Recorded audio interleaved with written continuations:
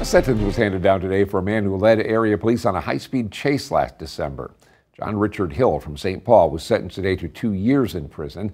That'll be followed by four years of extended supervision, during which he cannot have any alcohol. State troopers tried to pull over Hill after learning the SUV he was driving may have been involved in a Minnesota carjacking. According to the criminal complaint, he led troopers and Dunn County deputies on a 35 minute chase, driving recklessly and exceeding 110 miles an hour and even running through the city of Menomonie.